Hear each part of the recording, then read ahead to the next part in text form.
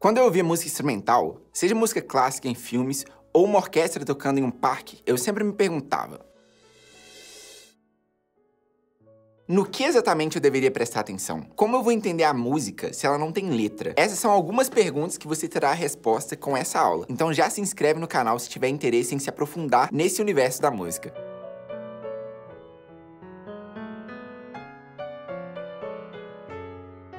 A música é uma coisa que, entre as várias funções que você pode encontrar para ela, a principal é transmitir algo. Quando a música é cantada, fica mais fácil entender o que o compositor quer transmitir por causa da letra. E quando é uma trilha sonora de um filme ou desenho, também fica fácil porque você associa a música ao contexto da cena que você está vendo.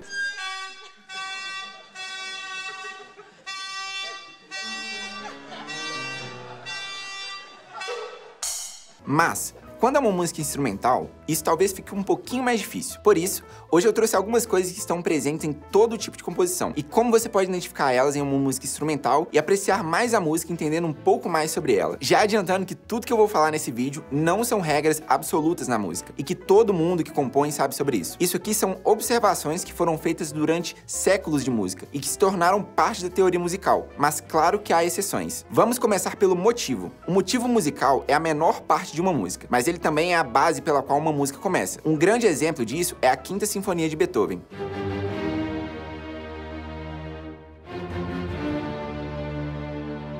O motivo pode ser rítmico e melódico, e ele pode alterar um desses elementos mantendo o outro. A partir do motivo, nós temos a frase. Uma frase é composta por algumas notas, que possuem um sentido, um início, meio e fim. Uma frase também possui algumas características. A primeira é que o motivo provavelmente está lá. A segunda é que temos alguns tipos de frases, mas as duas principais são a frase de pergunta e a frase de resposta. A frase de pergunta é a frase que vai gerar uma ideia na nossa cabeça, que vai iniciar um discurso musical e mostrar um certo caminho pelo qual a música pode ir. A frase de resposta, como eu sempre costumo brincar, é aquela resposta completa que aprendemos na escola, que precisamos repetir parte da pergunta e depois dar a resposta. Por exemplo, se me perguntarem qual o meu nome e quantos anos eu tenho, eu preciso responder: meu nome é Nicolas Yuri e eu tenho 25 anos. As frases também são responsáveis pela exposição do tema da música. O tema da música, basicamente, é a melodia principal que faz com que a gente lembre da música e fique cantando ela depois na nossa cabeça.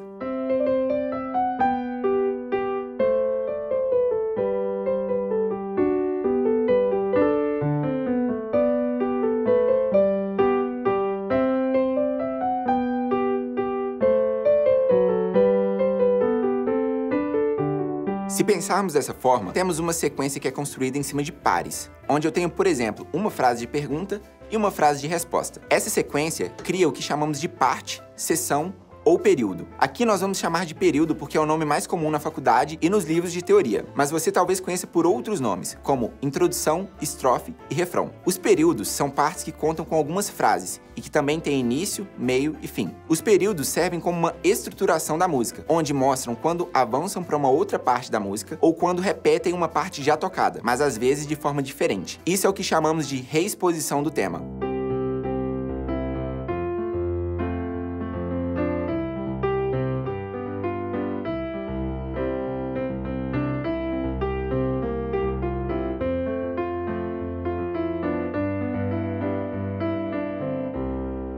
O blues trouxe algo muito forte para a música, que foi a forma de se pensar a improvisação, coisa que com o jazz tomou uma outra proporção. Existem algumas formas de se entender a improvisação em uma música, mas antes quero explicar a diferença entre improvisação e solo. O solo é uma sequência melódica que já foi ensaiada, criada, às vezes até escrita, e é tocada em todo show ou concerto da mesma forma. O solo pode ser uma característica forte de uma música. Como você se sentiria indo a um show que na hora do solo de Sweet Child of Mine ou November Rain, o guitarrista fizesse uma coisa completamente diferente do que você conhece. É um pouco estranho porque a gente entende que aquele solo é tão parte da música quanto a letra. No conceito de improvisação, o que se espera é exatamente o contrário. O pianista vai fazer um solo naquele momento, de acordo com o que ele sente que encaixa naquela música, naquele contexto. Se você for em um outro show do mesmo pianista, ele vai fazer um improviso diferente, justamente porque é baseado no momento, não é uma coisa fixa. A improvisação é como um comentário que você faz em tempo real sobre a música e pode ser visto e interpretado de várias formas.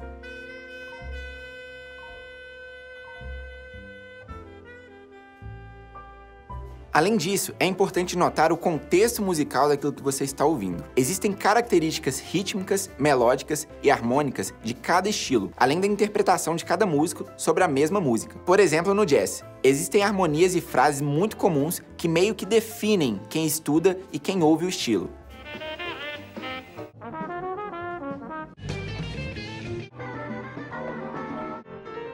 O contexto musical daquilo que estamos ouvindo nos dá um norte no que prestar atenção, e esse é um dos principais motivos pelo qual não existe um guia oficial de qual é o melhor guitarrista ou melhor pianista do mundo. Um exemplo claro disso é o seguinte: uns estilos prezam pela velocidade da execução, enquanto outros estilos prezam pela simplicidade e por menos notas, dando um contexto musical mais específico, como o bebop e o cool jazz. Ambos são subgêneros do jazz, mas enquanto o bebop preza muito pela dificuldade das músicas, complexidade complexidade das frases e velocidade das músicas, no cool jazz o conceito é exatamente o oposto, onde temos melodias muitas vezes mais melancólicas e mais lentas, além de harmonias muito mais simples.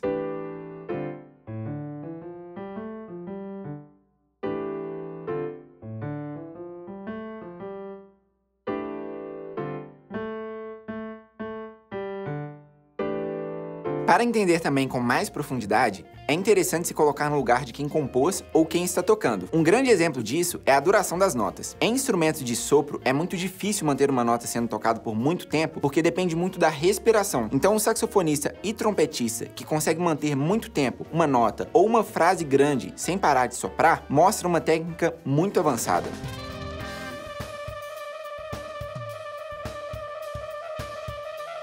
Enquanto isso, o piano, além de ser super fácil manter uma nota pressionada, naturalmente a nota vai morrer depois de um tempo. Então, para o piano, isso não significa absolutamente nada. A música não foi feita para ser algo que você escuta uma vez e acabou. Existem músicas que exigem que você escute de novo, que reflita, que procure entender, que tente cantar a melodia ou contar o compasso. Esse é um tema que eu gosto muito, e para você que ficou até o final, quero te fazer um desafio. Deixe aqui nos comentários a sua música instrumental favorita e comenta o porquê você gosta dela. O que você reparou nela que fez com que fosse a sua favorita. Um abraço e até a próxima aula.